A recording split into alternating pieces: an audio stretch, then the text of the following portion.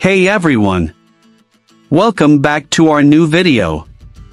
In today's video, I'm going to show you how to generate a Facebook profile picture AI image based on your text prompt. Just watch this video till the end, and do not forget to like this video and subscribe to this channel.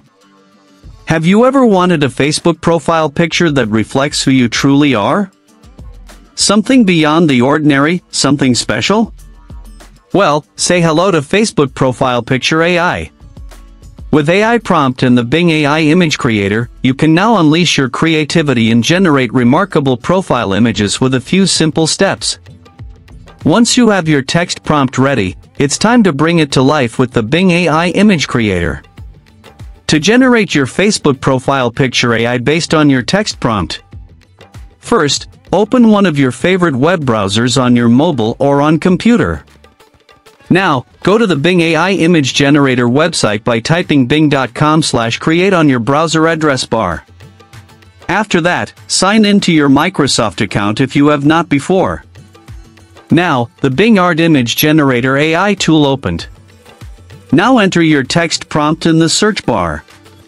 Just describe what type of image you want. The prompt can be as simple or as detailed as you like. I have also added some examples of AI prompts in the description box. After entering a message, click the Generate button.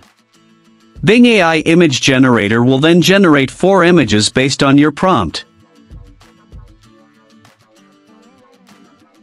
Now, you can view, save, share, and download your AI-generated image and share it to social media. This is exactly how you can create your own Facebook profile picture AI art image by using Bing AI Image Generator.